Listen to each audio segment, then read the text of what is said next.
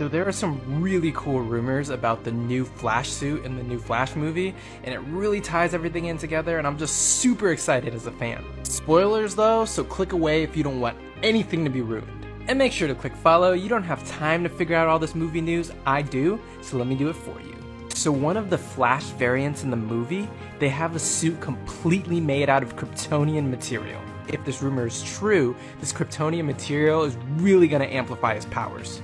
I love that they're tying in previous things from the, you know, pre-established lore, but DC is changing everything up, so who knows if it even matters anymore. Let me know in the comments, do you think this is a cool concept? I mean, Prime Barry Allen Flash already uses Wayne tech in his suit, so it's kind of cool that, you know, this variant is going to use Kryptonian tech. I'm A.T. Nguyen of Super Comic Time, and make sure to click follow for more.